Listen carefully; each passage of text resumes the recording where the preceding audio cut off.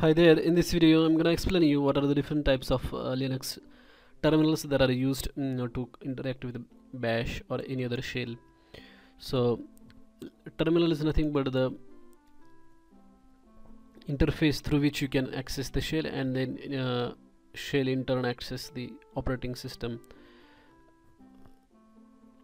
So here is the list of uh, different terminals that are available in Linux today and most of these uh, terminals are very popular. Uh, for example GNOME console then Konsole on KDE then terminator LX terminal. LX terminal is uh, used in lightweight version of the Ubuntu.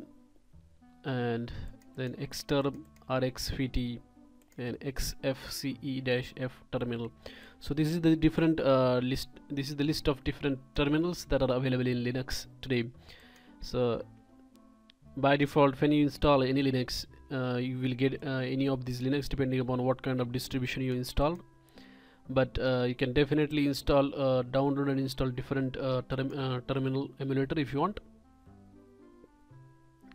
So that's about different types of terminals in linux.